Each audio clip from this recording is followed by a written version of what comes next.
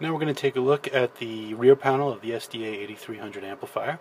From left to right you can see here we've got the GPIO input, we've got Ethernet for communication, and my BLU link which is coming out of my SDEC 4500P and into the first amplifier.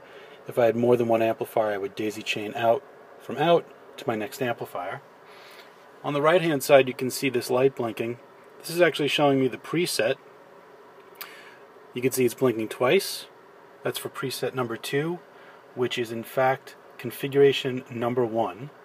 Uh, preset number one is a blank preset with no routing internally connected. So out of the factory box, they will always blink twice. This is normal. If I want to change it, I use one of the configuration jumpers which are included in the amplifier. I'm going to use configuration jumper number two. I'm going to plug it right into the GPIO.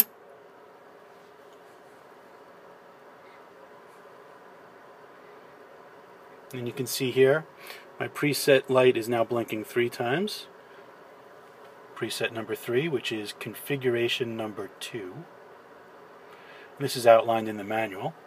If I want to take the amplifier out of that configuration and into configuration number three, I use the alternate jumper, which is also labeled as trigger number two, configuration number three.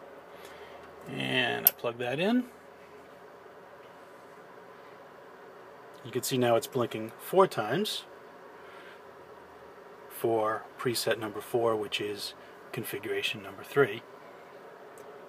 If I wanted to return to the factory default of preset uh, number two, which is configuration number one, I would need to use Audio Architect.